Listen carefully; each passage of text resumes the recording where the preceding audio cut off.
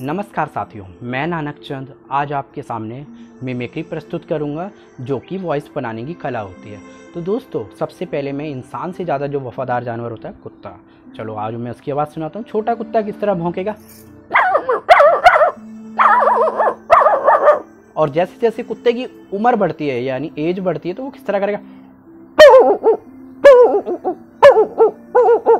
और जैसे कि कुत्ते के ऊपर कुछ पैर रख देते हैं या गाड़ी चढ़ जाती है तो किस तरह चिल्लाएगा?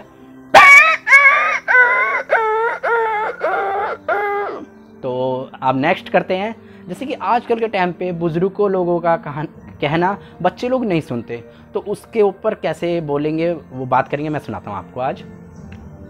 अरे बेटा बेटा मेरा पैर दर्द हो रहा है जरा दवाई मल दे। पापा जी सबर कर लो अभी मल देता हूँ।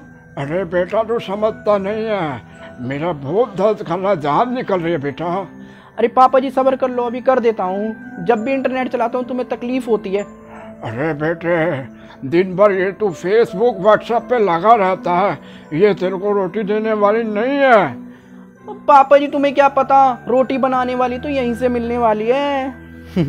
तो नेक्स्ट जैसे कि एक छोटा सा बच्चा दुकानदार है और बड़ा व्यक्ति जो है कस्टमर है तो वो किस तरह बात करेंगे? चलो आओ सुनाता हूँ आपको।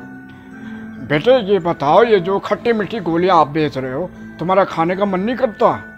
अंकल जी अंकल जी मेरा तो बहुत मन करता है। तो बेटे क्या करते हो आपका जब मन करता है तो? अंकल जी अंकल जी जब मेरा मन करता है ना तो मैं चूस चूस के रखता रहता हूँ।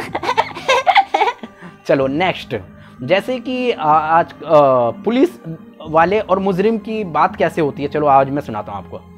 हाँ जी एसीपी धर्मपाल बात कर रहा हूँ जोरीगार्डन थाने से।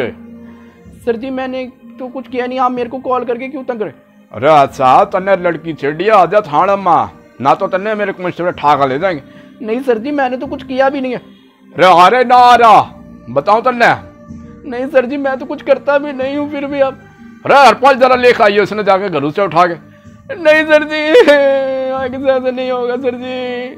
तो दोस्तों अब नेक्स्ट जैसे कि कई वैरायटी के आवाज़ आती है जब बूढ़े लोग बात करते हैं कैसे अन्य अन्य बेटा क्या करना है? और एक ये अरे बेटा क्या बात है? दिक्कत हो रही है तेरे को क्या? और एक अरे भैया मैं तो बात करो हरपाल सिंह। अरे मैं बुढ़ा ज़रूर हूँ पर मेरे में जबानी बहुत सारी फुट फुट के भरी ऊपर वाले ने।